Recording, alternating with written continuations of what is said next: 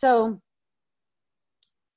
um, I just want to say thank you again, Yoshi, for sparking this interest in this in this topic of how to go online and how to make the most of Zoom. So, No, um, thank you I just this. wanted to no, it's it's our it's my pleasure. Just wanted to ask though, just I have some agenda or some ideas of what to share, but I would really prefer to begin always with what you guys want to know. So, if you wouldn't mind in the chat, if there were some specific things.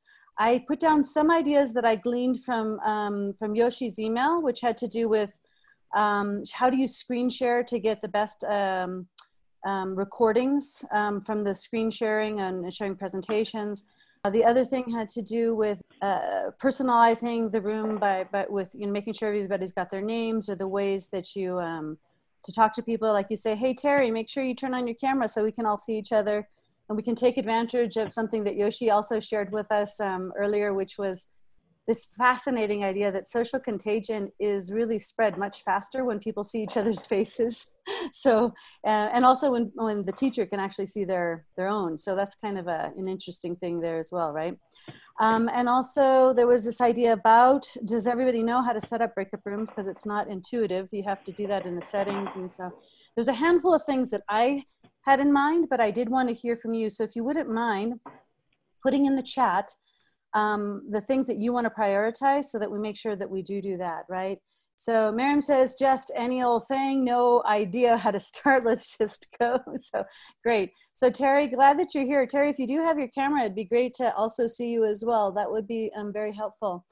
Um, and Amanda, so you're interested, are they telling you, Amanda, that they they want you guys to go online as well soon? So kind of interesting. We're already been online. So I already have like um, stuff set up in Canvas that I didn't create. But my class, I have three classes, and I would say 50 to 70% of my students, um, their work has their work schedule has changed. So we want to kind of give an opportunity to do some modification um, because um, you know we, we can't you know we don't want them to drop out if that makes sense. We don't want them to disenroll because their standard of living has significantly changed and their time to study. And so we're going to do kind of a little bit more of a transition like you did yesterday with us. Um, so i want to kind of learn how to do that if that makes sense Okay, so part of it is also finding the flexibility of what we can and cannot do online and how it can be used um, after the fact, right? There's sometimes um, it's really important, at least for our class, we care very much that you guys are able to rewatch the entire class. Sometimes we, we about half the people actually do rewatch our entire two hours and go through all the notes and the chats because stuff is happening simultaneously. It's hard to get your head around all of it at the same time but other people are um, doing this because they're looking at using how do you actually flip? So could you flip a classroom and people you know you can do this from your phone or could you actually use the recording features in zoom to flip classrooms as well? So there's multiple reasons that people want to go into to doing these things. So okay i get it. So you're you're not been asked to do this yet but you are you may find a change in policy um, that's going to push you to to actually get online and so you'd like to know all Right, the, the right. So that part and Okay. then there's another part about like all the mental health resources and stuff that cannot they can't go on campus anymore because the campus is so it's kind of like that part too so which was kind of secondary but i want to be able to do it if i need to like you got know it okay great. Thanks amanda. And victoria um, are you so you're more curious about what your teachers are going to do than so you're wondering will my teachers all of a sudden become amazing because they're all going to have to teach online? Is that what you're asking? I'm looking at the chat. It's kind of interesting here. What do you, what are you thinking I was actually thinking to do some projects here back home in Russia because um, what I know that schools don't really um, flip the classrooms. Let's say in my city, what they do is they just do they give uh, homework to, to students to do it completely by themselves and then they just send it to teachers and then they give the answers so there is no studying um, i was just wondering why is it the case so and in most cases like from what i know they just don't know how to conduct it uh, and our teachers are um, don't know these technologies S- uh, that's why i'm here Okay, Great. Your curiosity, it's, it's really welcome. There's, um, I just want to make a, just a bit of a clarification. When we talk about teaching remotely or when we talk about being online, there's this really big spectrum of different kinds of courses that we're talking about, right? And on one end, you'll find something where you have these one-off webinars where people want to have hundreds or thousands of people be able to hear somebody else and then you filter some kinds of questions here and there. And it's very low on the interactivity scale right? Then you get these things which are like moocs. You have these massive online open courses. They don't have price tags. They don't have deadlines really very little interaction with people okay? Those are not what we're talking about here okay? What we're talking about here has to do with online um, courses and i would divide them at least into two levels of, of, of courses. Some are people that I know are just barely making it, barely figuring out how to get online, and they're just just using it as a repository to upload things and pretend they can have their face-to-face class in a new modality. And that's just wrong. But anyways, many people are doing that because it's a space to hang homework or receive things or do a quiz. But it's not really maximizing the potential of that platform. And then you have classes like ours, right, Tabitha, which are really cool where we have to, we're trying to leverage as far as we can the technology to make this a much more personalized uh, experience. And we, you know, use the breakout rooms and we do other things. And it's a different way to think about online education. And so, um, that's what I want to talk about more. I'd like to, we have an opportunity, this huge catalyst right now of of the virus, unfortunately, but something's good is going to come out of this. I have already heard, for example, from my um, my daughter at Tufts and from another ex-student who used to be in this class, who's also taking uh, now the classes are all online, who just told me, "It's." Inc-. I said, "How was your class? Your first class?" And they said, "It was amazing." I, I think that putting the teachers online has made them also improve their pedagogy. And I said, What do you mean? Well, they were told, well, remember to pose questions beforehand if you can, flip so that you can have a deeper discussion, use the breakout rooms like this. Things that they had never done in real life. They'd never done small group work before, they'd never asked students questions. All they did is lecture.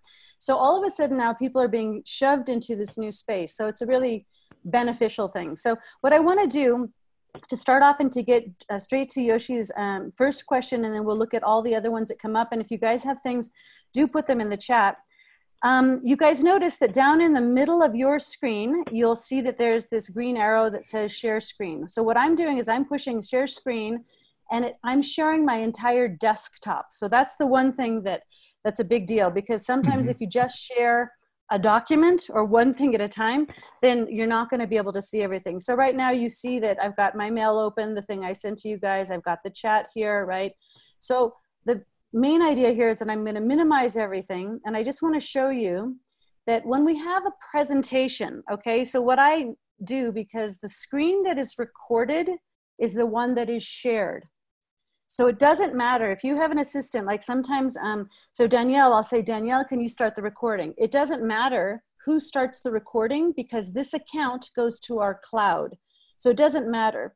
Before, two years ago, Zoom was in a very strange place and we were trying to goof with all kinds of things. And we would always say, the person with the best internet should be the person who records. It doesn't matter anymore. It absolutely doesn't matter who starts the recording, okay? Um, so what I do is on my screen is the one being shared. So what I did is that I took you guys, I sort of drag you into one half of the screen more or less, and then I'll take the presentation we might be doing. And if you see in the PowerPoint structure, you see where you click on slideshow, if there's something that says set up slideshow, okay?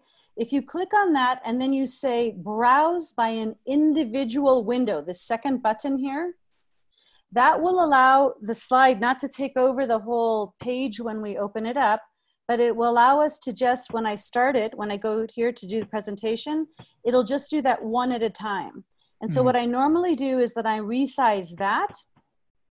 And what's cool about it is that it saves all the transitions and all the other cool stuff. However, I'm going to add a tip here. Some of these things are tools and some of them are just tips and some of them are just sort of like a, uh, you know, after experience, we realize some things are important to do, and that's what we're going to share. One thing here is I love my PowerPoints because I spend a lot of time doing transitions and things come in and it makes movement and we can circle stuff and add things as we go along, and it's it's a different way of doing it, right? But in other, um, in order to have that kind of a movement, I need to have a PowerPoint. That takes a ton of bandwidth as compared with a PDF. Okay, mm-hmm. so if you are projecting from a space that has poor bandwidth to begin with, you may just be better off just taking your PowerPoint, right? And I'm going to save it, and you decide you're going to save it as a PDF, and you just present the PDF. The PDF has to also be just dragged and resized. So that's the bottom line. Basically, that's that. Those are the two ways that we go about presenting our things um, to you guys. So it's just a matter of resizing because a PDF is a much smaller document than the PowerPoints are, but you don't get any transitions. But once it's opened, you do the same thing of resizing. I'll show you here. Let me see, where did it put it? I don't know where it put it. See, what's the difference of the transition? Like, why is that valuable? Oh, I just like it because I think it looks cool. Okay. I think it's nice to be able to have the slides, you know, to, to have one person, like I'll put up, remember when we talk about your discussion boards? And sometimes I'll do one person at a time and not the whole group is uh, you know listed. So if you do a pdf it looks like this and you have to scroll it okay? But it is less bandwidth it's not as pretty and there's no transitions so if you have the bandwidth go ahead do the pdf the the powerpoint so yoshi that was your first question wasn't yeah. it did that did that answer that um yes yes yes and then also you put uh, chat window yes uh, over this right? So the so the chat is just something that I can pull up, and then you can also resize the chat wow. any way you like, right? Now, what's so interesting though is you don't. If the reason you're doing it is for posterity's sake, for the recording, don't. Don't worry because when you are when you get back your recordings in Zoom, you will find that it's already embedded. Your chat and the transcript will be on the right hand side of whatever was on your screen. So you're going to get what the screen is, which to us is the people and the presentation. And just off to the right, you will see, um, I'll show you one of them just so you get a sense of this. But what's so, so you don't need to put the chat if you care, if, if all you're doing it for is for the recording. Does that make mm. sense? That's so, more for the live. Um, Yes, so, so if I'm just, uh, yeah, so this one, let me see if it's this right, is the right recording. I'm, I'm just gonna record. No, this one doesn't just see it. Any, okay, so do you see how this goes? Right here, um, I'll, the screen that I had set up with the people. Oh, yeah, yeah, yeah. yeah and the presentation. And on the right, you will get the audio transcript and the chat transcript is already going to be embedded in your recording. Okay. Outside so you don't, screen outside. So you don't even have, when you're recording yourself, you don't have to even think about where do I put the chat now, because it's not all going to fit. But don't worry, that will be put up there later. The other thing to take advantage of, Yoshi, I don't know if it's in your context, if it's important at Yale right now, but these, what we have our, uh, what we can do and what we can tell, we, when we have students, before in Harvard, we used to have a lot of students with a much lower level of English because there wasn't a, a TOEFL requirement. Now we don't have that problem and everybody is fine.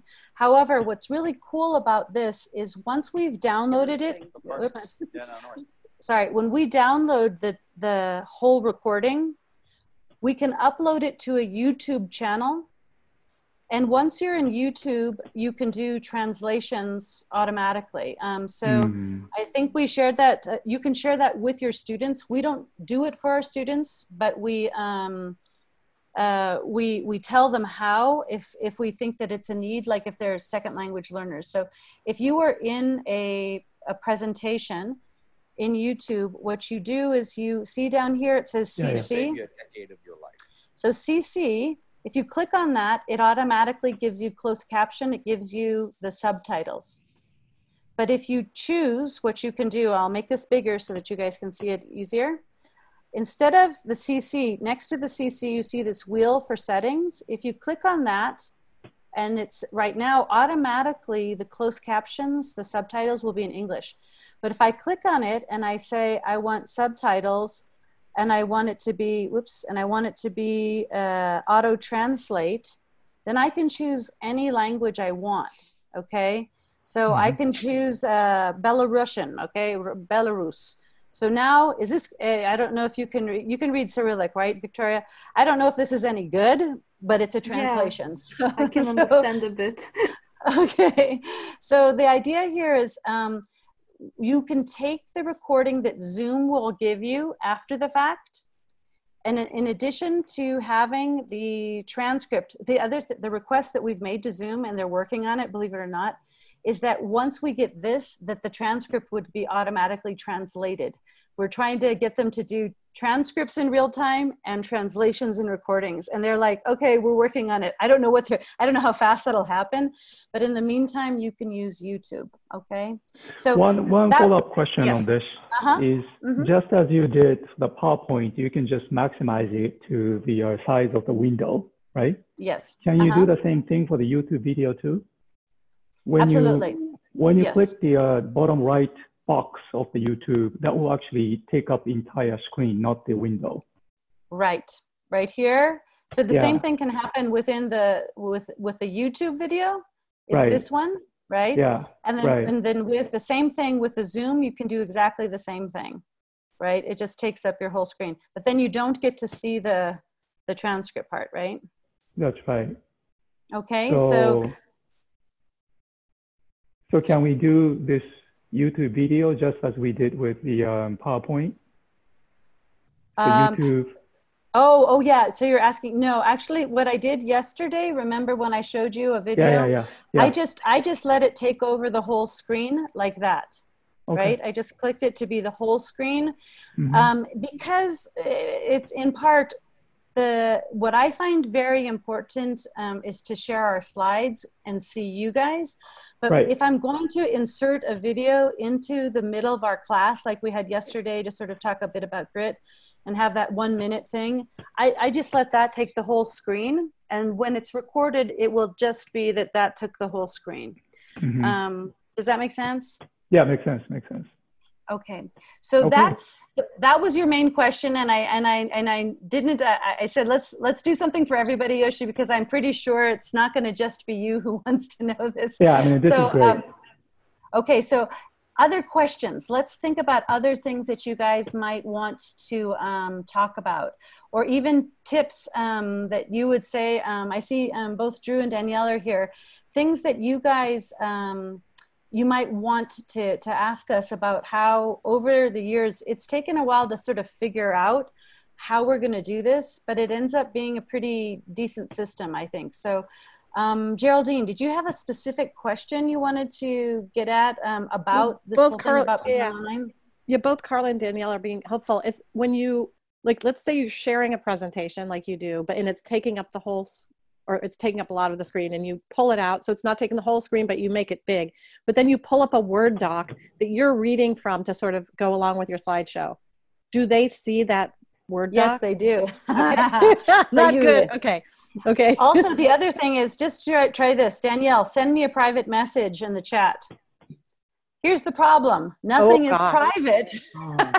Nothing is private, okay? So if she sends me a private message in the chat box here, to you I- you guys, it's on the screen for everybody, okay? So you guys have to be very, you know, careful about how you're using that.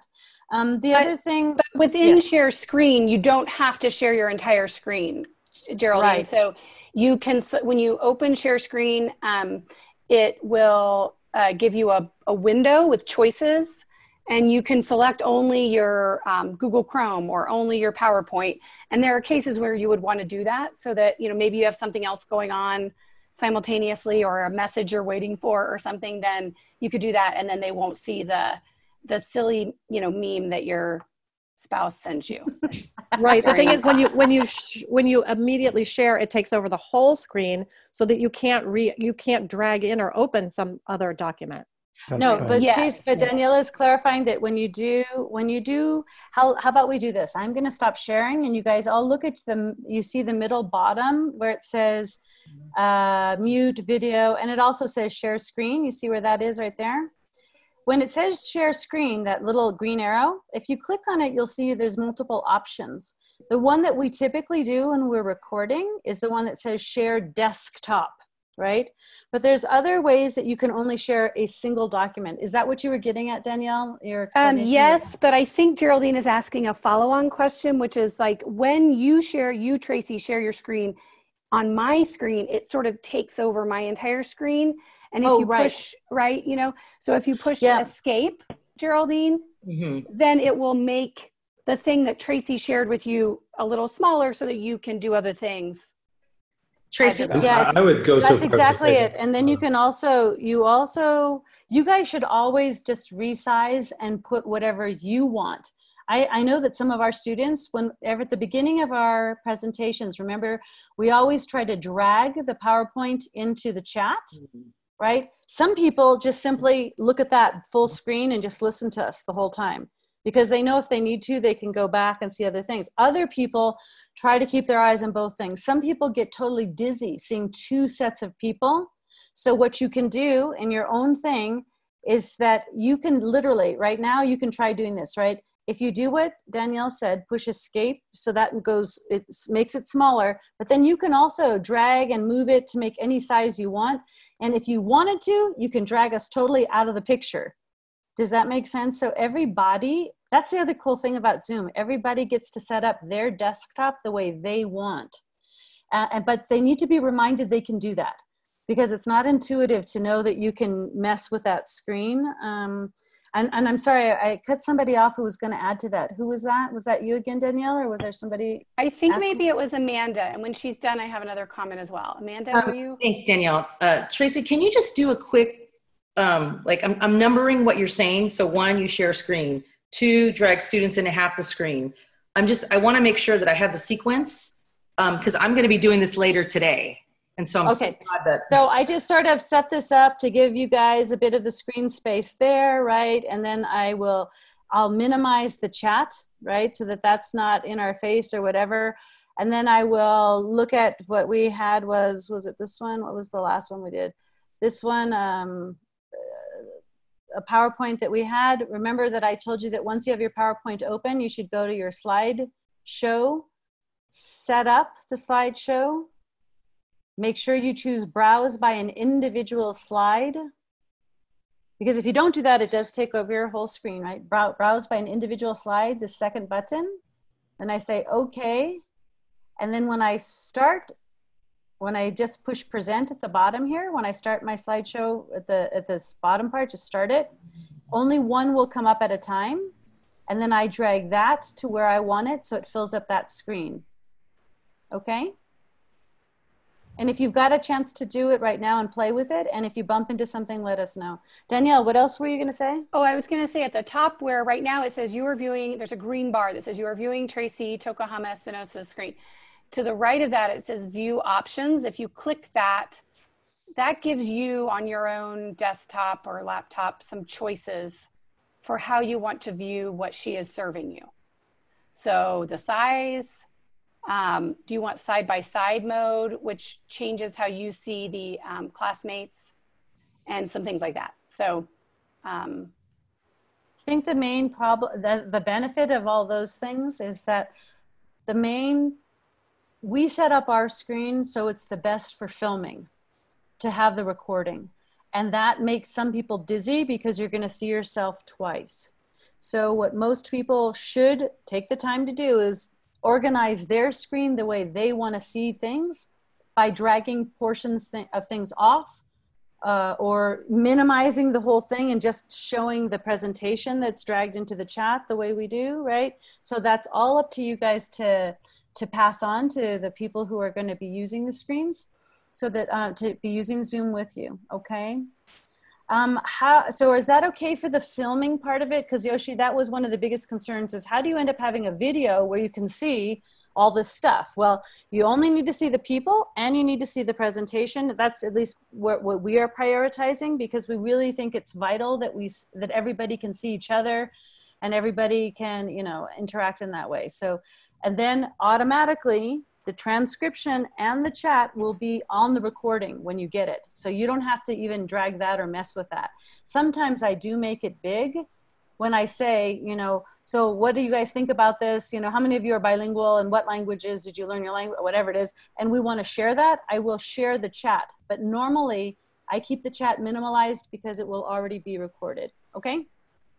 Okay, so some other, yes, okay, other questions, Yoshi, for, and, and Amanda, you guys have pressing needs for classes today and tomorrow. What are some other questions you had about um, maybe how we go about doing this or we can start throwing out ideas and you can stop us if can you, you can you tell them how they record because it does not automatically record and then you do have to do some setting changes i think on the back end to make sure it goes where you want it to and yeah what happens so there. if you guys notice that on the bottom here can you guys see my bottom toolbar here where it says the thing about chat and everything well here is where and this is where you get the sense of who is doing what so i can if you click on manage participants what I see is that I came in first, I'm the host. So if Drew had come in first, he actually ends up being the host it, because, because Drew, Danielle, Cynthia, and I are equal entry points. And so whoever's in first ends up being the host.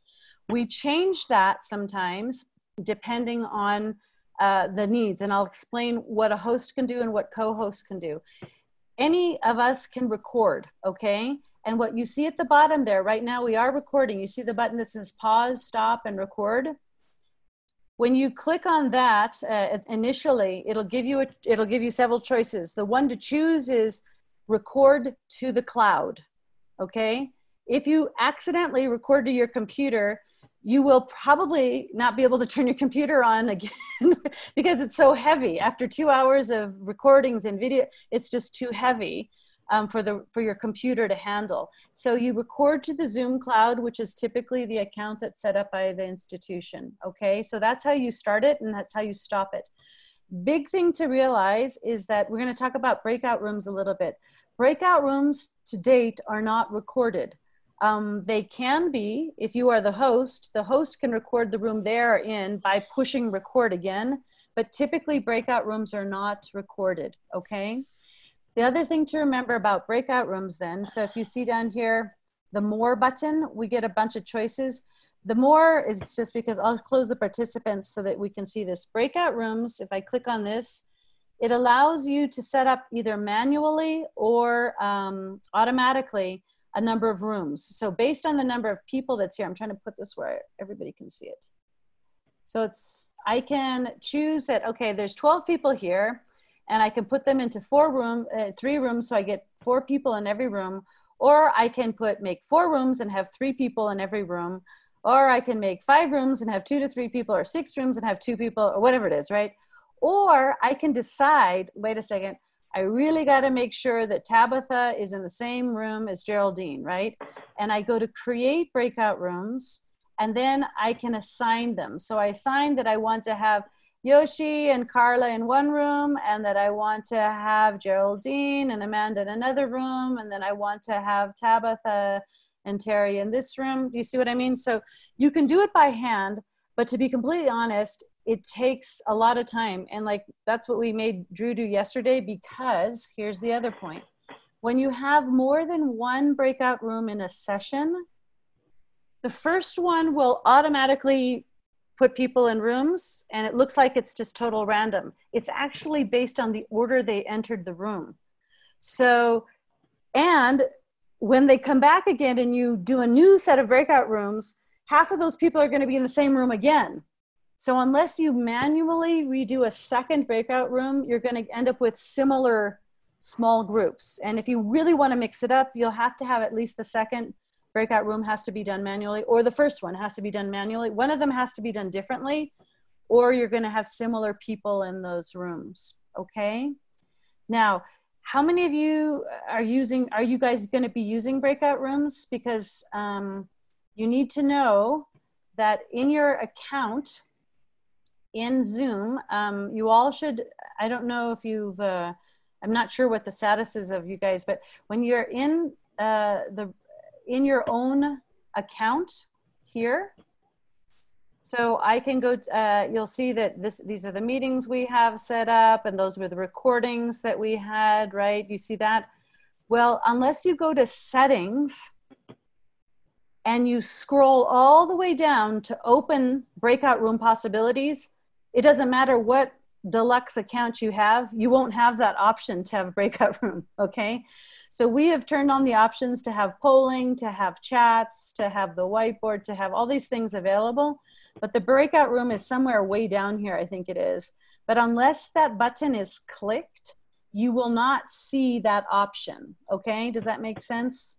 I don't know where it is right now, but just so that you know, you know you have to go to settings to actually turn on the breakout room, okay? Is that okay? I don't think people on an iPhone Oh, here it is. or a tablet can be in a breakout room. I, I think there's some different um, privileges. Um, and so just be aware of that because we've had students a few times who were having trouble with their laptop and logged in on their phone, and then they end up in the room with me, you know, st- sort of staying in the main room. And, and I figured out later that there was Do a you reason. have do you have um, Zoom on your phone, Danielle? Um, I do, but I'm saying when a student, you want to test it? I just want to test it because I don't know that that's true because we've had plenty of students um, be on their phones, haven't we, Drew? And we do put them in breakout rooms, I think. Although I, I've, you're right, it, it could be that there's some different things, functionalities, but Yeah, I, I think, think- everything you can do on the computer, you can do on your phone. I think. I don't know, but um, but in any case, just I'll test those it are out the- and figure it out. I I'm- know I'll also try to log in right yeah, now. I know I had that to- issue with. You'll try to log in on your phone and then we'll create a breakout room. We'll see if we mess you up. Okay. so just so that you know, in order to be able to have this functionality down here, to be able to create a breakout room, in order to be able to have that functionality, number one, you have to be the host. That is one thing that a co host can't do, and you can't have anybody do that. So sometimes, if I get in here first and I need Drew to create the breakout rooms, I then just make him as a host. I can make anybody else co host, right? So I'm going to make Drew host, okay? And I change that, and I become now nothing. I have no status, which also means that in my shared screen, I also do not see the option of creating a breakout room anymore. Do you guys see that? So I no longer have that. So only hosts can create breakout rooms. Okay, so that's a, a, big deal. Hosts I am now logged in. I'm logged in on my phone under the Harvard, uh, the 1609 account. And I believe, Danielle, are you also in as a, a second account? I'm not. No, once I saw that you were No, doing it. If we so- wanted to so Drew- try, Let's try it, but let's make you. Can you make somebody else? Can you make Danielle host or s- or me host? well, I, I'm, So I'm on two accounts right now. I know. I don't. Oh, okay. Okay, you're in as Harvard now. Okay. Okay. Yeah, So, um, so you're the host, so you're gonna have to create the breakout rooms. Mhm. Sorry. I'll create some breakout rooms and we'll see what just goes create on. it, and we'll be gone for less than a minute. But I just want to see if the functionality of on a phone is is true. Okay. Thanks for letting us experiment with you guys. Okay. So when you he creates the room, everybody's gonna have to accept and go to that room to be pushed into the room. So join the breakout room, and I'll see you in about thirty seconds. Okay, and I can join. So I just did join.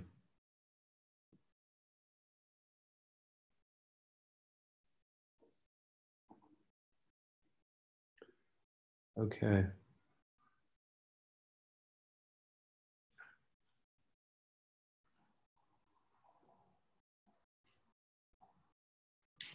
Hello?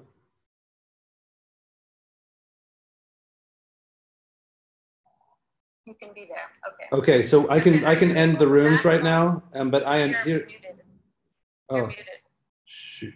I, I can, I, I am here on my phone and I am also in the main room. So, yes. Well, it's just because I'm using my own account for the um, hosting privileges and I'm using the Harvard 1609 account as this uh, other thing to test uh, as my phone. So, Okay. yes, phones can go in. Okay, phone's gonna go in. Close Can you just shut all the rooms down Yeah, from, which- yeah. from the one that's in the other room? Okay, Yeah, yeah. thank you.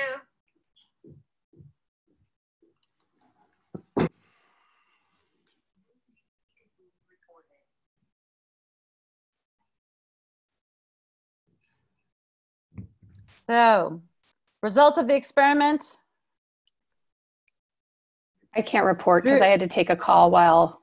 So what's yes, going on. um, result of this is that yes, as a, a Zoom app installed on a iPhone, you can enter a breakout room. I am having trouble manually closing out all the rooms. Yeah, I'm, I'm going to say I think it's weird that the other guys didn't come back because I guess they didn't jump back in like we know how to do it because we, Mm. all of you guys have been in breakout rooms a million times and you know how to either wait out the minute or you know how to jump back in. And we jumped all, we all jumped back in and they didn't. So their minute is going to have to Expire. give up and yeah. then they'll, yeah, then they'll, after that, they'll be back, pushed back in. I did Isn't not weird? choose anything though because I was trying to respond to that phone call and I just was put back in the room. So I'm not sure. Well, so then we need to figure out because we've had several times where students were stuck in the main room and I was told that it was because they were on a different type of device. So we need to figure out um, why that happened. It's a So here's issue. the, here's the, okay, Okay, so that let's was a good experiment that we can say with clarity that if you're on a phone, you can still be in a breakout room. And Drew was in the breakout room and everything worked just fine. So yeah, Um, Yoshi? Uh, Drew, Drew, go ahead.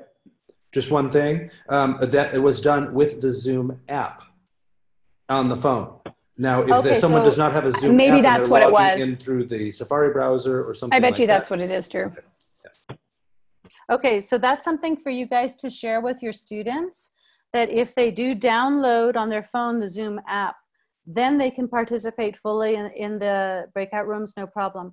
If they are entering through, like they go through Chrome and they go zoom.us and then they enter their account and then they enter the number, that's not going to allow them, probably.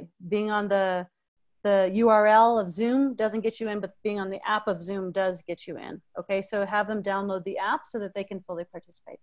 Sorry, Yoshi, you had a you had a Yeah, comment or question? so yes, a question. Uh, so when uh, typically in, in this class that you run breakout rooms a couple of times in within one session, right? And in Yes. that case, do you create the breakout room in advance before you start launching the breakout room? And so that you save the setting? Uh, I mean, I understand you can only set up the breakout room after everybody's on, uh, like, you know, on board and so that you could create, but as soon as you know, you now know how many students are there, maybe five ten minutes into the session, that you have like a 90 minute session, maybe you can ask the TA to start creating those breakout room as I'm talking. And so that when it gets to the point that we can just launch it right away instead of then the TA has to spend a couple minutes to like, you know, to create the breakout room. You know what I mean? It never it doesn't it shouldn't take actually a couple minutes. Literally, it's if you do the automatic one, it takes Yeah, you it's random. seconds. It takes you literally open, create breakout rooms. How many Right. people do I want in a room? Push. It takes five seconds to create uh, to get, which Yeah, is amazing that- because face to face it would take you 10 minutes to get everybody you know okay so you guys go into that corner you guys go into that corner. it's much faster but when you have to do it manually Manually, yeah. um, definitely um, at least uh, you guys uh, you guys tell me but um, how much time do you think is is good to give another person a heads up before you have to set up the rooms drew I would say if you're trying to be intentional with wh- what you're doing, not just changing it up like so it's not the same as the automatic, really trying to have some intention. uh, Right. Five minutes. Five minutes. I So mean, I- me I- as an know, instructor, just to give them a heads up. Okay. The only way to handle this is just to give them a heads up a couple minutes before I really want to have that launched. The Well, other thing you can go ahead danielle The other thing you can do is do um, automatic and then change it. It will it'll populate it, and then you can just sort of manually move, Move. the things that Yeah. seem Oh, sort of okay. off, and that sometimes is a fast way to deal with it. And if we're still on this breakout room question, um, it is important to know that if someone gets bumped and they come back in to the Zoom platform, they will enter into the main room. So they will not Right. enter into the breakout room that they were in. If someone gets bumped, if someone comes in late. Now, if you are the person that is operating the breakout rooms, you're the host, uh, then you will receive an audible ding. And that will say, it's a distinct ding and that will show you that something is happening. It'll be a little bubble, red icon with a number on it in it where in the bottom third where it says breakout rooms, and you will see that there is some action that needs to be taken, like someone is unassigned and needs to be put into a room because of God knows what technical failure. Just the only other thing to, to add to that, Yoshi, is that I don't know if you know this, but we, we meet every week. Uh, we talk about students, we talk about what we're going to do. And also, we all try to be there like 15 minutes before the class Yeah. starts. And I always tell them, you know, there's going to be one breakout room just about 15 minutes into the class. There's going to be another one in about an hour into the class. You know, who's going to set up the rooms? And then that's, it's already set before. So it's not, we usually don't do it on the fly, but I mean, it, it you could do it like you could be talking and say, and we're going to have a breakout room in about five minutes. So please, you know, TA be ready. But usually we've already got that um, Yeah, yeah. shared. Yeah. Teaching Okay. plan. Yep. okay so that's kind of the thing about how we film and that's kind of how we do breakout rooms and kind of the all the little things uh, about breakout rooms were there any questions about those two aspects because there were a handful of other things we wanted to talk about um, maybe some ideas that i think um, were important to our course and i don't know I if you think noticed Victoria has a pretty good question with um, presenter that? notes. Um, it's uh, presenter notes, or what, what do you call them? Talk notes? Uh, Talk track? talk track, yeah, but presenter notes, like when you present and you want to see the notes, maybe some people prefer don't. to. and I, don't, I know that that's a thing but i never i don't use notes and so i know that that might be a problem like geraldine was saying what happens if you have like a your your your word thing on the side that's telling you what to do or the presenter structure you can set up the powerpoint but it will show everything when you're sharing the screen. I would So, say if um, you wanted to maybe have a, um, a PDF of some notes that you would, I mean, it wouldn't work per slide by slide, but if you just had a general set of notes, you could have it on your phone, mail it to your phone and have that open or something. Keep it off of the screen. That would probably be my first step. I'm not sure if you had a second screen option altogether. That's what I would do. You and could if you do don't want to have slides, uh, let's say it's a math class and you want to draw like on the board or for your students, can you actually do that? Of course, yeah. So if you see on the bottom where it says share screen, instead of sharing the screen, you'll see that it says whiteboard. So you can share a whiteboard uh, structure instead, and then you can say, Victoria, right? You can share whatever goes on there, right? So it, it um, I'm not very good at this.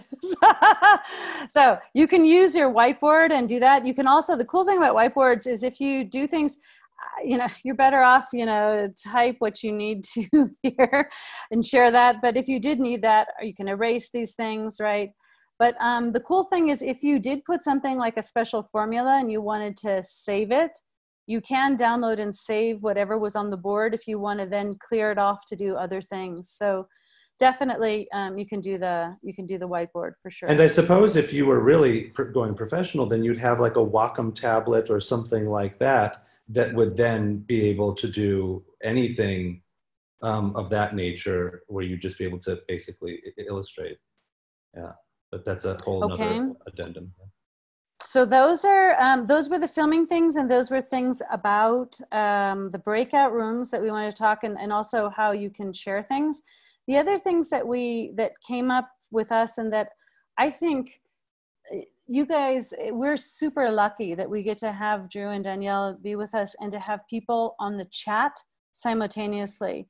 Um, harvard permits us that past 25 students we could have a second ta um, which does give us this this luxury that we can always have somebody on the chat and one of the things that you guys know about all learning uh, it requires miriam it, uh, attention and memory. And if you don't have attention and memory you don't have learning. And one of the real problems carla with being online in this setting is that stuff happens and then you think you heard something and you want a clarification. And was that baki rita? How do you spell baki rita? And if you've got somebody on the chat who's got their finger on the pulse of what's happening and they're knowledgeable like these guys are, they're picking up on that and they are satisfying that immediate attention. I need to have that question answered before I can now go on and think about anything else. So rather than wait till the end to ask questions or interrupt the, the class in a way that you think is it might be bothersome to other people, you get it clarified on the chat. And I cannot stress to you how I think important and helpful that is, even though it might sometimes seem like a parallel universe, like what we're talking about, and then somebody will have to say, Oh, so sorry, I was just, I was typing in the chat and I didn't hear that last question or something because it is um, asking your brain to, to divide attention. And so we we've struggled with finding this this balance that we think the chat can be beneficial if it's used for clarification.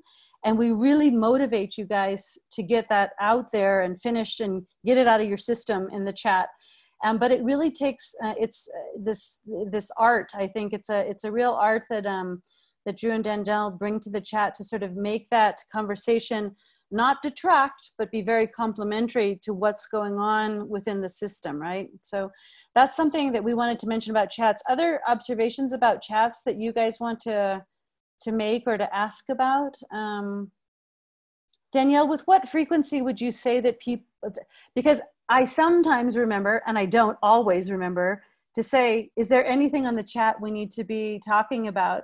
And sometimes you guys say before you move on like you just said drew uh, victoria had a good point here on the chat.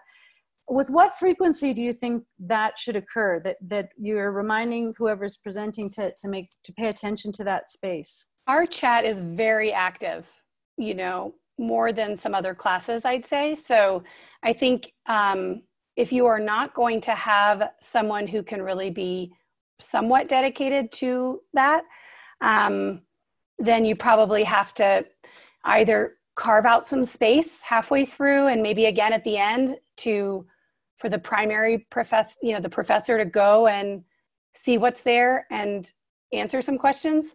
Um, otherwise, I think it's a little bit of a function of how many students are in the class and how active they are on the chat. And some of it may be because we are responding, then people go to the chat to ask a question. Um, yeah.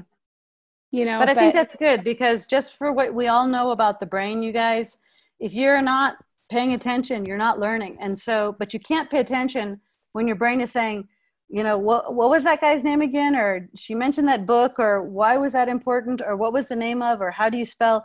If that's hanging on in your head you're not going to be focused. So this chat plays a really important role in making sure that there's immediacy of clarification so just wanted to to mention that as well. I would also say you know it's a bittersweet kind of thing because I I, I can quite easily stop paying attention to what's happening in the class to focus on the chat. Um, well, I, this, this is this is where we have to find this really interesting balance because Tabitha, I'm not sure if you're going to talk about this, but we cold call a lot, and I don't know if that scares you or if it's helpful. Go ahead, Tabitha. Well, I was going to mention, um, you know, what are some of the suggestions you might have for students who are trying to juggle this balance of the chat and the watching the video because I know I've been doing this for years and I still can't manage it because I'm constantly distracted by that chat flashing off and there's no setting that I can put where I can disable the color of the chat or some alert of it. Um, and I will say that I think cold calling is particularly helpful um, because it forces me to pay attention in classes that I might not otherwise. And so I think that's an invaluable uh, tool to use. And I think that that's something that many teachers are almost afraid to use in, uh, initially. They're so worried that the class rhythm will be thrown off by asking a question that somebody might not answer correctly that teachers don't talk to, don't bring everybody into the conversation one of the things that one of your classmates really helped me see and use much better was um, she said, I, I really get nervous when you just call on me. Um, can you do th- can you help me by giving me a heads up, a teeny heads up, just before you say something? Like we'll say, this concept of neuroplasticity is phenomenal Tabitha, because it's really one of those things that's more recent that we've just realized in human beings that we can document. And I'm not sure, you know, what you would think about, you know, its impact that it's had on education. But, and then I sort of give you a few, uh, uh, almost, um, uh, you know, a 30 second lead time, knowing that I'm going to say, and what do you think of that? Um, however, having said that, I've also been very mean sometimes when I know somebody is doing other things I'm just going to call on them because they just need to know they need to be in our space and present. And I know that sometimes that I, I don't mean to do it as being mean, but I think that everybody in this class adds so much when they're there. But if they're going to be, you know, distracted in something, I'm going to do my best to haul haul them back in. And so, um, but you guys will also see that if you use the breakout rooms strategically, then it permits a much better participation afterwards. So if people are prepped with the ideas in a smaller group, then when brought back to the bigger group, it's easier to share.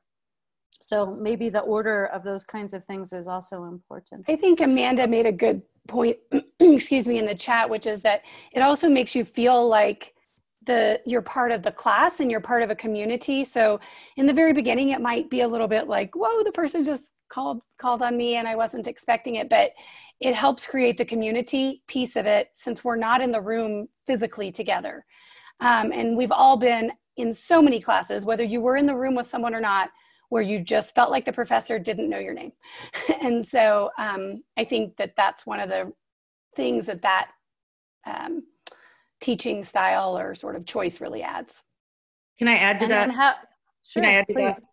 Danielle um, and I um, were in a class in, on campus, and it was I think about 55 people in the class, and um, I, I I don't think that there was this much engagement in the class. And this is an online class; you're thousands of miles away, so I think that's pretty fascinating. My first flip class ever. I almost didn't want to do it because I don't feel real techno- technology savvy, but Danielle said she would help me. So with technology, so Thank you, Tracey. Thank you, guys. Uh, no, I'm glad that, that it seems to work for you. Go ahead, Carla. I, I just wanted to say the same thing, and I've been talking to someone this afternoon about you know using Zoom and and and sort of uh, classroom engagement, and because they were like, oh well, you know this is way too hard, and people will just not engage, and and so I gave this class as an example because for me this is one of the most engaging learning experiences of my life. Um, and um, um, because of the way that the class the class works and the way the cohort is gelling as well. And geraldine just posted you know how much embedded learning we do doing in the breakout rooms. And i think that's just getting better and better as the week weeks go along because we are forced to engage with one another and we seem to be doing it rather well um, and so for me that's that's the real value of this class and, and actually in a way I'm sort of um, closer to my cohort in this setting than I was in cohorts when I was a university student, where I had didn't have that proximity of of sen- or sense of proximity at all. There's there's a there's a lot to be said for the online setting, and I think Yoshi, you helped us understand this a little bit better in one week when we were talking about it uh, in a face-to-face class you are almost never face-to-face with most of the class. In this class you are in everybody's face. You are literally seeing the faces. And in addition you're also seeing your own face. And so that just adds to the the social contagion that is possible which is another point we're going to get into. But marion you wanted to say something and i also wanted to ask you uh, something very particular about um, names being called on by name and and does that make a difference do you think? Go ahead marion okay well i'm way past the age of brown nosing so what i'm saying is from the heart it's not for um it takes a special kind of person and it takes a special type of energy which you are busting at the all of you drew danielle are busting at the scene with energy and enthusiasm and the class could either be a disaster or depending upon who runs it or it could be the most wonderful thing which is what you've turned it into. So i think that anyone who would try to emulate the process would have a very difficult time at the beginning. And i think a lot of harvard professors have to put their egos in check now when they try to uh, to teach online and see that hey you know this this is kind of hard and these students have to be super motivated super intelligent and um, how are we going to get that same type of enthusiasm in our classes? I just think it's a rude awakening and maybe when we walk at graduation you know they'll give us an extra round of applause. And the professors and the professors who teach. Again, well, I'm, I'm, too old for brown nosing. let me put it this into a context, which I think I always say to know is not enough. You know, you know stuff, it's not enough. However, I think there are some things you need to know, and I'm pretty sure most professors don't know this. Social contagion is real, and the intensity of social contagion is even stronger, according to Mayer's work, online than it is in face to face. I mean, we can't smell each other, but we can certainly, you know, con- are contagious in the way that we are with each other. And one of the things that um, it should be known by everybody is that what that teacher walks in and does and feels and, and projects becomes the mood of that class. And so if you've got somebody uh, lethargic, or if you've got somebody depressed, or if you've got somebody who's worried, or if you've got somebody who's totally nervous, and and they're um, the best thing that person could do is to say, "I'm very nervous right now because I've not done this, and I'm going to be doing my best today but you know forgive me if i'm i'm nervous or whatever. Just honesty in your face is going to go a long way. And i and this is what my daughter said her first online class at, at tufts the other day. She said it it was incredible because she was anticipating like total and utter disaster but the teacher was totally honest i've never done this before in fact i'm not crazy about this in fact i've always been against this because i didn't think it was going to work but I'm going to do my best and I hope you guys are going to do your best and let's see what happens. And it was, she said, the best class she had had all semester. So then I talked to another person who told, who's, a, who's also at heart at uh, doing the extension school. And she said the same thing. The teacher was primed to not only set up the class online, but to um, walk in to say, I want to ask you what questions you have. I want you to watch this short video and then come and tell me what questions you have and let's start with that. That was the only homework they were given. And she said it was the best class we had all semester. So I have great faith that this is going to catalyze, catalyze a lot of good or better teaching. But the thing about social contagion is real, but most teachers don't even think they have that effect on anybody else. Anybody in this room can drive social contagion. Anybody can turn the mood around, anybody. But if the teacher understands they have a particular power because they get the mic most or whatever, I mean, they they have to understand that they can use that, they can leverage that, and it's your face, it's your tone of voice, it's how you choose to interact with people. All of those things important, but we don't realize that power. And I think telling teachers, you know, you got that power. You can make people feel like this is the the worst thing ever because you hate it, and just say that, and then everything goes from downhill. Or you can say, I'm nervous and I'm going to try. And it will make all the difference in the world. That honesty makes all the difference in the world. So, social contagion is real. It's a very big deal, but most teachers don't even realize the power of that online. So, anyways, um, that's the second to the last point. I just wanted to bring up other, um, one last thing is, is about being online and documentation.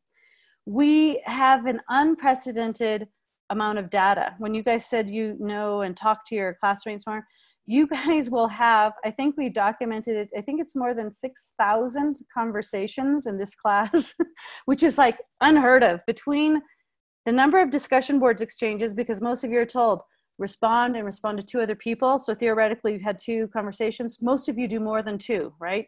So every single week for 15 weeks, you have, you know, all of these conversations plus you do the three two ones you have all these other things we've able you're able to document your learning in a way that's unprecedented using um, the canvas platform and using zoom we can also see oh that's the other thing use the chat to take roll um, sometimes if you if you care about attendance or you care about those things at the very beginning just throw out a quick question. So you know how many of you can hear me? Just write yes in the chat if you can hear me. You can you can just do something as simple as that but it registers their name and we can we know who was there right? So you can use that to, to get away from all those other silly things. Right and that same point is that we don't know of a way to check attendance outside of that doing that if you go back to the recording of well, zoom we can't see who was there right you can look okay. at the image you can look at the but you can't say these people logged into that call there's no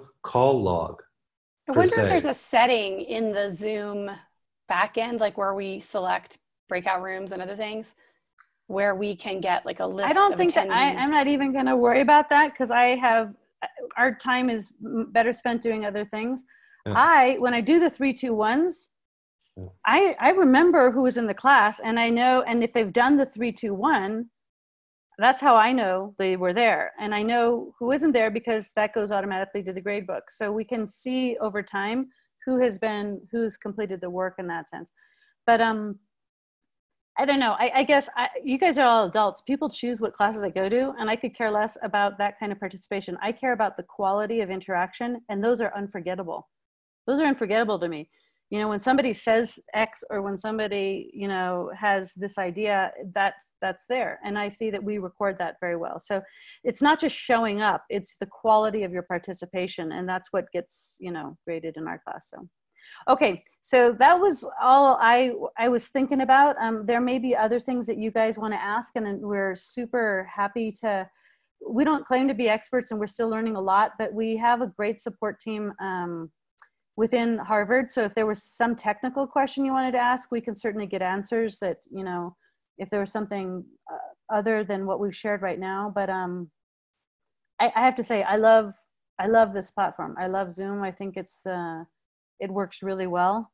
Um, and we luckily have had really great experiences with it so far. And Tabitha, I'm not sure, did you say why you were doing this? I mean, is this just to, to to make sure your teachers are on their game or is this because you want to do this or why are you uh, more i'm preparing for um, needing to do uh, job entry training via online and so i i want to be able to have the skill set to say look if um, you're concerned about hiring me i can basically learn online and um, function in this format.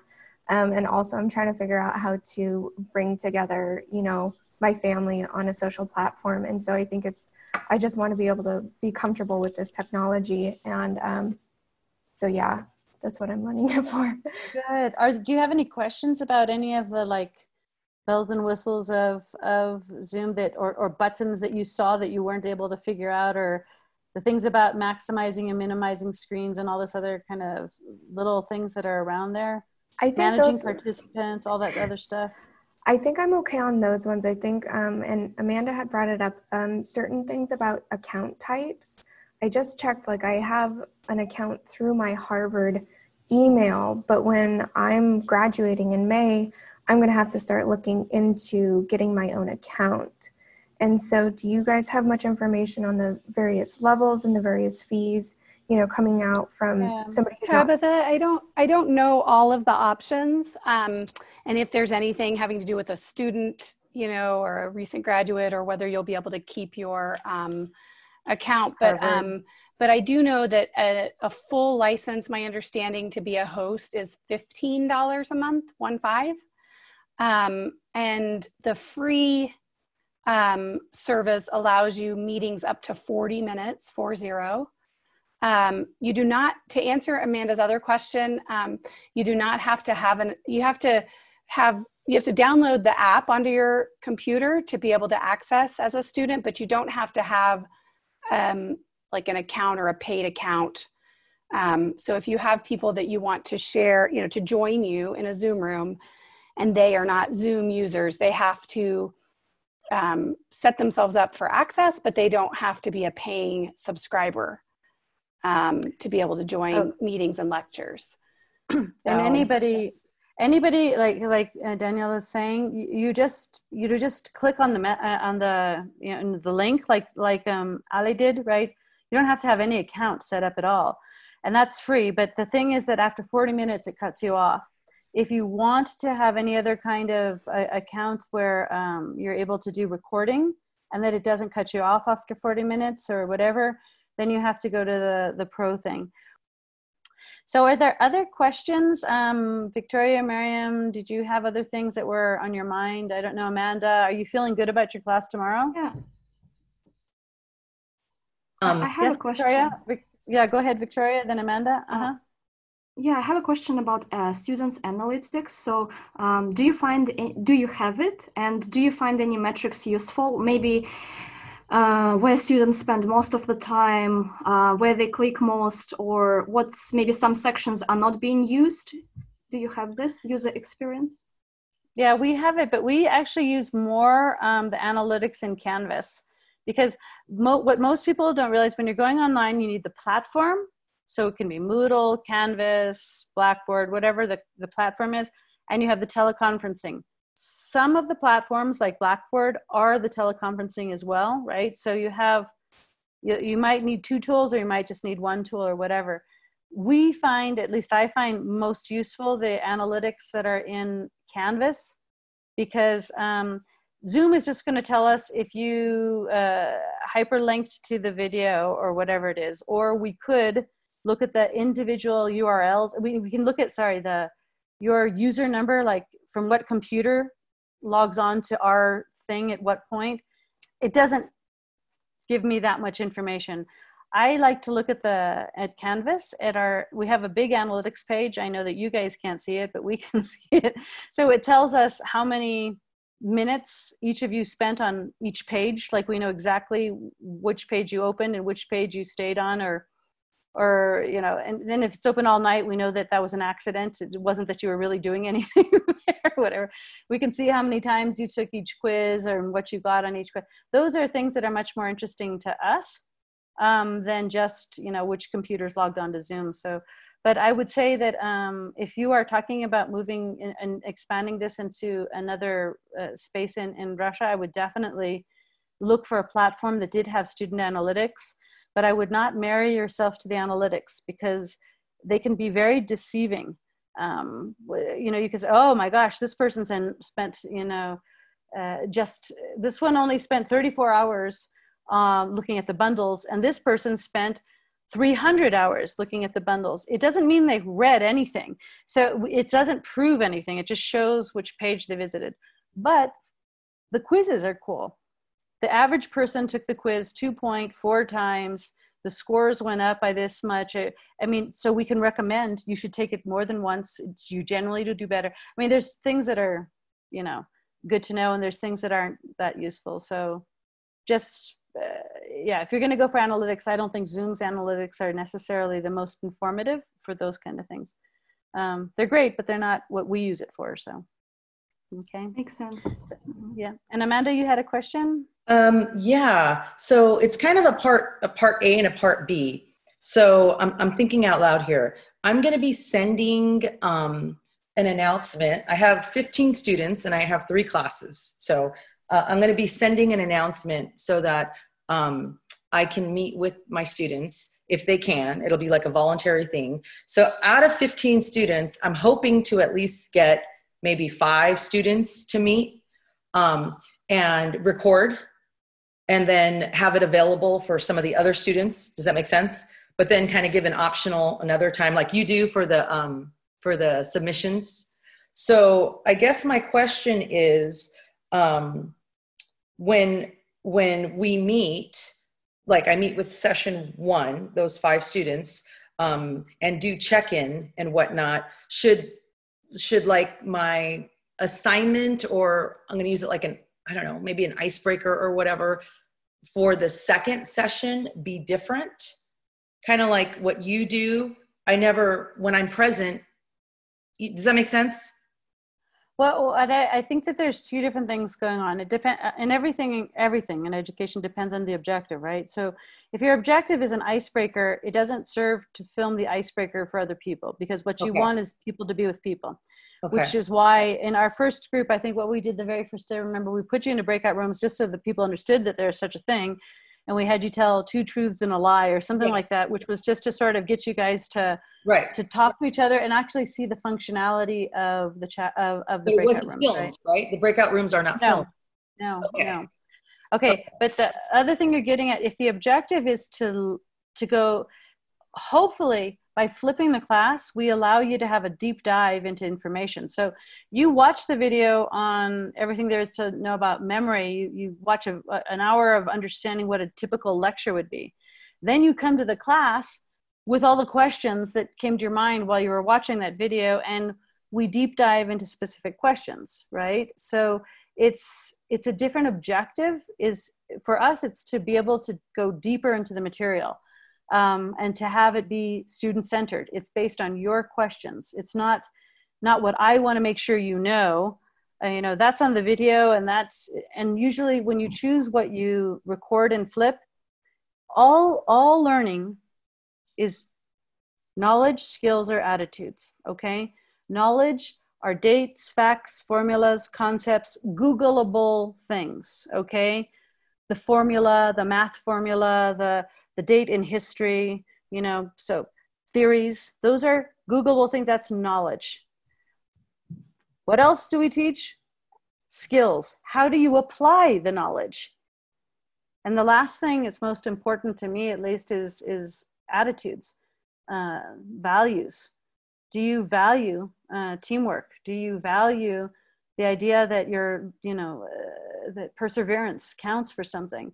Do you value, um, are you empathetic to your classmates? Are you, you know, so knowledge, skills, and attitudes, okay? Now, the deal is when you're trying to think, what do I put on this recording? What am I supposed to do mm-hmm. if I'm going to flip? to me, the key thing is to put all the Googleable stuff, put the knowledge stuff, put the dates, facts, formulas, put the names of the theories, mention all that other stuff so that when we're in class together, we work on developing skills and changing attitudes. Most of, I mean, that's the hardest and longest part of learning. People can learn uh, knowledge things really fast. You can learn knowledge. That's why you can go to a conference and somebody spews knowledge at you, easy But to me, why didn't they just record that so that when I come to the conference, I can now say, yeah, but does that really work with middle school kids or is that only things for adults? Or does that, you know, really also apply in the American context if that was something you're bringing from France or whatever it is, right? So to dig deeper. So when you're so depending on the objective, okay, you have to you decide if you're going to record and flip and use that for either the pre-teaching or what you were saying is to document that meeting so that other people could watch it and learn from that meeting. So, so now, that's a totally that's totally different. We have the pre-class videos, right. the flipped ones. Right. Then we record the live class sections, which can be rewatched, and they all have a different purpose. Right. They all have a different objective. So I have like class A and class B, 15 kids in each, which is the same content. So I can use the pre-recording for both of for them. For both but um, keep the two A and B like interactions separate, like different classes. Because but why do you need to do that? I don't know. Like that in my mind, I'm trying to figure out the schema of how I'm going to organize it because I want to keep the the groups together. Their cohorts A, one cohort, and then cohort B, another cohort. Like for example, like cohort A, it, their stuff is due like on Saturday by 11:59 and cohort B, their stuff is due on Sunday by 11:59. I don't have to keep them separate, but on the grade book and on the class, they're separate because we well, only before, before, the first question you should always ask is why. If there is no good logic there, I have no idea why you have two different cohorts of 15 people when it might be a richer experience to have one cohort of 30 people and then divide into smaller groups when you have specific I think things. In real class time, there were, you know, 15 to 1 for class size instruction do you know what I mean? For teaching wise in real life, 15 to one. So that's why I think they were broken out. Um, smaller class. There's, there's, there's three, there's a ratio. It's one to one to one. For every hour, you like you're in front of the class, you should be sure that you have one hour to prepare for that and one hour to evaluate it. Now, if you are talking about putting all those 30 people together, then it's a very interesting thing that you're, you're talking about because the evaluation obviously is where you need more time um, because the preparation and the presentation are identical. So maybe by putting them together in those two, that other space, you give yourself more time for the other thing. I don't know. But um, anyways, it helps. The division, Thank you. Thank you. Yeah, think think about you know what is the object why are you doing it like that before you just accept because right now this is the moment to change everything because right now everything in education is in question so if they divide them into two cohorts and there was was there a purpose to that so, i mean so in the class yeah in the class um you know they they're the private school prides itself in small class sizes. So um 15 students to one teacher. So i have you know i have two sections of the same which i'm glad because you know it's two sections and you know different you know characteristics. You know some some students in the class are kind of more like looking to apply for law school whereas others are looking kind of more into um, like um, customs border patrol um, police officers you know so i don't know i didn't set it up that way just so that you know, that makes it easier on you, but it doesn't necessarily make it better for them. Okay. Just just remember that. Just question everything. I think the way that we divide kids up by their abilities or uh, this group is going to be, you know, is aiming for this or that or the other thing. It's not necessarily the the best way to get the best out of everybody. So Okay. Thank okay, you. so going back to anything technical, is there anything technical that you want to clarify, Victoria, Ale, Miriam? Is there anything that's loose end, or do you think that there's anything, Danielle, we need to share? Go ahead, Marion. This may be the dumbest question on earth, but I'm coming to this with a tabula rasa, so to speak. It's like totally. Um, so I have a prepared set of slides that Ali can tell you that that I showed to the class, and uh, so um, I will have either them read it or I'll read it, and then have the class discuss it. I sort of run the class like I don't know if anybody remembers the TV show House, where we sit and we discuss each thing and each one. And how do I, if they're pre-prepared slides, how do I connect that with Zoom? I, I mean, I, I total, I, it might be the dumbest question on earth, but I really don't know what where I'm coming with that. You can you can do. Remember, I told you there's multiple levels of doing remote and online learning, and so a lot of people, their first steps, baby steps, is let let me just take what I've done forever in face to face, and let me just find a way to do it in the modality online. Yes. So, and that I think is is missing a lot of opportunities because what I would recommend you do, but I don't know that it's comfortable because it's not a comfortable space. Everything that changes is hard. But I'm terrified. I am absolutely terrified. Well, so here's because right now I have a pretty good reputation, and I don't want to completely ruin it and say, "Oh, she's miserable. Don't take her class." no, it won't be that way at all. Because one of the things that you could very well do that I think would just, it is, most teachers don't do it because it really means upping your game. And if you don't know your topic, you can't do it. But I don't think that's your problem. The the main thing would be to record the way that you would you would talk about this slide and so we know this slide and we know this other side and you've had that pre-recorded but what you're going to do then is what you have been doing you're taking advantage of the time in class to have that mm-hmm. discussion but what you're doing is you're giving them even more time to prepare because you're saying watch this beforehand and then come to class with specific questions. Wow. i have questions and you have questions okay? But you're giving them enough time that they can re they can listen to that twice they can see what you said they get better they get deeper questions and then you have that discussion in class around you can do you can do what you did before but i promise you it will be better because they will have had more time to give it a better thought but you can do that because you know your subject inside and out. Many teachers are terrified because the only thing they can do is what they can do on their slides. They have never gone beyond that. Nobody's ever challenged them. And that's exactly what this format does. When you flip it you oh, you are so vulnerable to the, anything. People can ask mm. you anything. Anything and if you don't know what you're prepared. talking about you know you're stuck. You're really stuck. And the only thing you can definitely do in that moment if you don't know is to say great question. I don't know let's look for that answer together. But because you're on the spot and that's why a lot of teachers do not flip they don't because it is a much deeper way to think about the subject area. It's harder it's much harder um, but it's much more fun. It's much more this is why our class is never the same every year because all of you are different every year. And you bring something totally different to the class every year. That's why this class is is so interesting. If it was the same thing over and over i mean how boring for all of us sorry Marion, I think you ought to send a note to your classmates in this class because they all know how to use Zoom. They all have been online and say, if anyone would be willing to give me, you know, 15 minutes or 20 minutes so that I can practice with real students in a room and you can tell me what worked and what didn't. I, I the worst is they tell you no, but I think people will help you out. That's a, that's a good great way to practice yeah go ahead Ale. Yes, I have a question for Tracey. Um, Uh-huh. So, seeing that if we were to pilot something like this online instruction for new grads, what would you be uh, recommending to initiate? Um, how many um, students to have in a platform like this? To we have obtain- managed it depends on how much help you're going to get and depends on what your objectives are if the For one this is, sorry?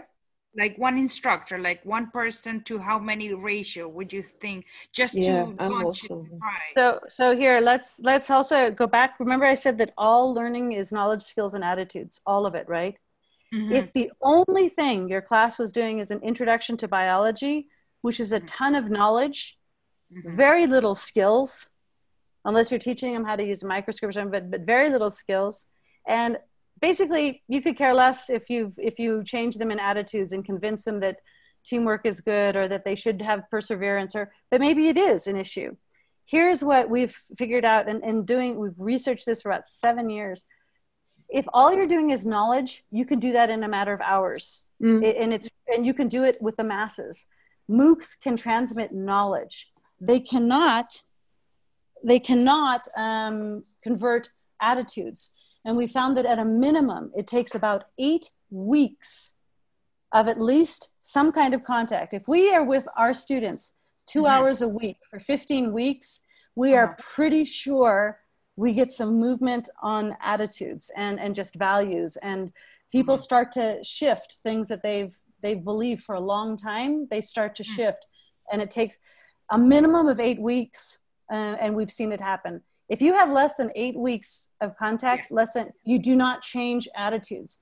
If you if you're trying, if part of the attitude you're trying to get them is that they have to have empathy for where the patient is at, but they must have uh, a very evidence-based subjective understanding of how to treat them or whatever. If you're trying to instill that, and you've got somebody who has no empathy and they're totally technically fabulous, if you are trying to convert that person into being a good nurse who will be able to have that empathy, you won't get that in less than eight weeks. It's a very interesting process. We've experimented with formats that have gone for a week, two weeks, four weeks, five weeks, six, six weeks, eight weeks seems to be the point where we can actually get change. But then after that, 10 uh-huh. weeks and onward, you're pretty sure that the, the, the majority of the people will change attitude. So it's not just knowledge, not just skills, but you start to see attitudinal shifts, which is, it's a fascinating thing to, to watch. But that's why I say it depends on your objective. If your objective is only how do you draw blood, okay, Mhm. you can have one person and a thousand students and you can do it in an hour. So it depends on your objective. In our class, we have found you're absolutely right. Amanda was giving you this ratio of one to 15, more or less. We have begged, and because we were experimental at the beginning five years ago, they gave us two TAs for 40 people, and they pretty much maintained giving us two TAs every single time. We have the luxury of having many people, and that Mhm. makes a big difference to being able to attend to the class well. So I think Miriam will agree that having this number of TAs is a luxury for most Yeah. classes don't have many It is. people. I would say it depends on your objective, Ali. If it's just knowledge, you can have thousands of people and one t- one person. If you're trying to do something more substantial, um, I like uh, Amanda's ratio of like one to 15, one to 20.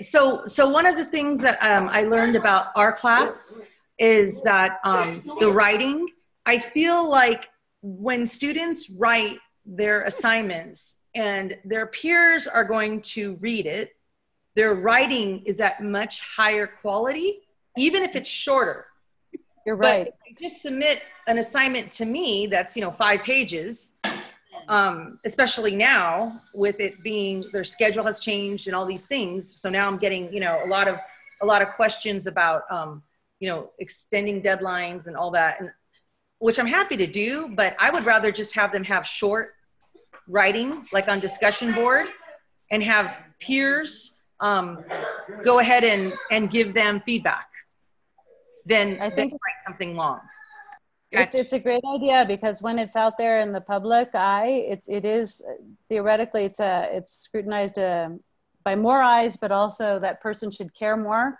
Um, but it sometimes happens. Um, you're absolutely right. It depends on what your objective is. In our class, the, the, the writing is a form of thinking thing is why we, you have more than 90 assignments in our class. I don't know if you know that, but between the three two ones, the discussion boards, the responses and the submissions, but because there's so many of them, they count for very little each one. Each one is, you know, less than a percent, you know, it's, it's a small amount of weight towards the total grade, which actually ends up meaning that you could make a lot of mistakes and still do great in the class, right? And so it depends on how you want to organize it. I don't know. Um, in Danielle, in your experience with other classes of having uh, the discussion boards and all this other stuff, most classes do not milk the discussion boards as well, um, and they tolerate people saying like, "Nice answer," or "I agree," or you know, mm. um, it depends on your objective. For us, we know that writing is a form of thinking. So the more they write, the better they're thinking, and it's hard. And and um, and we are we're, we're, tough on so many elements of the writing. It's not just the quality of your thought but also can you synthesize and write within that time you know the number of words and all that stuff. If that's not your objective then you don't have to have discussion boards that look like that. But so, um, so tracey can you hear me? Yep. can you hear me? Um, so one of i think the major things i'm encountering right now at my site is at my school is that um, we haven't done a really a good enough job or a thorough enough job with like the whole apa format so these longer papers, really, once they go through this thing called Turnitin, is the longer papers are really just you know copied and pasted information um, that they're quoting somewhat, but I mean it's just not. We haven't done a good enough job with the whole APA explaining it, how to cite. Therefore, um, the longer papers are not very. They're not really. They're just doing the knowledge, but the skills and the attitude, it's just, it's not there. Does that make sense? So, yeah, well, there's a lot of we write teaching writing is very very hard. I don't know if I told you that we're working on a new program called Think Write uh, MBE. It has to do with um, different stages of thinking and writing. If you wanted, I bet I could convince somebody who's co-authoring that with me. He's a teacher in Missouri. He teaches um, English in Missouri, mm-hmm. and he we've been discovering a lot of really cool things about the stages of writing mm-hmm. uh, in that. And he, um, I'm sure he would be very happy to to maybe talk to you guys or talk to the students about some That's the other reason Cynthia is also with us. She loves APA. I joke with her about that, but she seriously ordered them into my last trip. She said, I will order two, but you need to read it and I need to read it. And I'm like, Bleh. but the thing about understanding the rules is one thing, but and knowing how to apply them is another thing. But it takes rehearsal and practice. And that's the only way mm-hmm. people get better is just doing it, really doing it. I, Amanda, okay. this is like a little tiny thing, but I think, um, you know, in APA, basically they say you shouldn't use a quote you shouldn't you should you should paraphrase wherever possible and cite it unless the way that those words are you know put together conveys the idea in such a way that you really cannot do a better job you know unless there's like a fundamental reason that you need that quote or it's like such a seminal work that you need a quote or whatever right. and so I almost wonder in the case of these students if it would be worth artificially saying like you know tell them that but also like you're not allowed to use more than 40 two quotes or, or yeah. something or yeah. this many words per paper just for a period of time to see if it forces them to learn to um, think about what they're reading and how they can synthesize that because it's so much easier just to slap a quote into something right right and you so know? the other the other big thing is is I, I think i shared with tracey before the class started that a lot of my students um, you know they they were bartenders they had all these other jobs like as a restaurant in a restaurant full-time jobs but now that they closed because of covid they're now doing uber or they're doing other type of delivery jobs to you know to make a living for themselves and some of them for their families. And so i think now more than ever our students have under have a have a stronger understanding of why they need a ba right? You know for a career for a career. So they're not just kind of you know, copy and pasting and putting crap together in these five page papers. But I mean, I, I don't know that we need five page papers. If they can really synthesize what they're doing in a discussion board and get feedback from their peers, that to me is much more effective than me just, you know, getting, you know, five page papers that, you know, the hyperlinks are on the, you know reference and you know all these things that they, they're not changing it. You know they're not going back and fixing it. So when i get the next paper there's still hyperlinks. I don't know that they're reading the feedback or i know. think that you also have to again it goes back to the objective. What is the goal here? If your goal is to get them to think um, yeah they need to do you know longer things and more research and all the rest of it and learn how to do this format.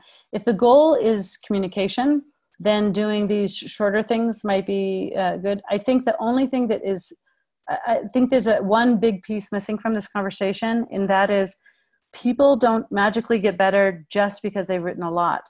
The role of feedback is absolutely fundamental. And I think one of the main reasons that a lot of people haven't become good writers, at least as children, is because they were never told how to get better. And what's fascinating, one of the things that we've done in the research with um, Chris, Chris found this thing stunning. He, inter- he interviewed his 11th graders and he said, I'm just going to ask them what they need from me and I'm going to listen. And he gave every single student 20 minutes. And every single student, by the time they were in 11th grade, they were really clear. Well, I'm told I ramble a bit and I don't have enough structure in my work and I need to plan better because they never really use an outline. I mean, they knew themselves, right? Another would say, I'm told I, I just really talk off the cuff and I just don't do enough research before I actually start to write. And, you know, I know I have to do that a lot better, but I just don't know how to do it, right? So every single person he talked to nailed their own problem. They, they knew what they didn't do right to write well, but they just didn't know how to write better. They didn't know how to fill in that void, that gap. And so the the bigger role here is in how much feedback you're willing to give. Um, and this we spend an inordinate amount of time giving feedback. And that's why we think people get better at the writing. I don't know if you've got the time to do that and if that's really your goal because but we think it helps people learn how to think. When we challenge them and they say you know not sure if you say this means that and well this in that sentence could mean these three th- things. Do you understand that as a reader i'm not following you i'm not inside your head i don't know what you meant by that indefinite article please avoid those and try to be more specific. Unless i tell you what you need to do it's very hard to get better at it right? So unless you have the time to give a lot of feedback uh, no matter how many writing assignments you give them if you're not co- nudging them to do it better they're not going to get better. So you do have to you're going to have to decide how much time you have to be able to do that. That's why teachers typically one essay at the end of the semester or here's your final project or whatever it's because that's the time they're going to give it to it. They're going to glance over it okay a b and nobody's going to be around to get it back or get feedback and they're not going to learn from it. That's not the objective of our class which is right. why we do things. So you don't have to do it to the extreme of our class but you don't have to do it to the extreme of how right people right. amanda it reminds me of you told me the paper you did for that one class at the end of the term yeah. you, it was like a 15 page paper or something and yeah. you got like two comments. Yeah. Yeah. You know and i mean i do know that the longer you get you know the further along you get in some cases it's like you know but it just seems like a shame. You spent an entire term yeah. you're a graduate student. Yeah. you have a doctorate in education. You want more than just like well done. Right. Right. Right. Um, and, and, so I, I guess that's kind of what i'm coming to because because because I teach online, it's already the classes have already kind of been shaped, if you know what I mean. And it seems like there's already like points assigned for this and points assigned for that. But now, because of what's happened, I feel like I have some flexibility and latitude um, to. Um, and right now, honestly, I do have the time because our schools, um, you know, San Diego Unified School District is closed uh, until May 1st. So I do have more time to invest in my students at the university level. So um, you know, I feel like I can be a little bit. Can I cut you off for just a second? Thanks, Drew. Yeah. If you have to jump off, and thank you for for coming in. You didn't you didn't have to you didn't have to be here, and uh, and it's I deeply appreciate you guys showing up, Danielle, Drew. That you didn't. Uh, it's an extra plus to have you guys here with all your good additions. Okay. Well, it's a learning experience for me, and, and you all take care, and um, Ale, be, you know, be be well, and and and uh, you're doing the good work, and um, uh, we'll talk soon, and have a good night. 007. I like him. I like him. Almost three. I also have to get going, but I wanted to thank everyone, and I really hope to um, hopefully join you very t- on another occasion. Amanda and yes. Tracey and Drew, you guys are great. Oh, thank you. Thank You're you. great. And if you have any additional questions, just uh, go ahead and email and let us know if there's any other things that you had um, it's we're we're happy to support you when you move to doing stuff online. Yep. All right. Thank you. Bye, everybody. Thank you. Bye.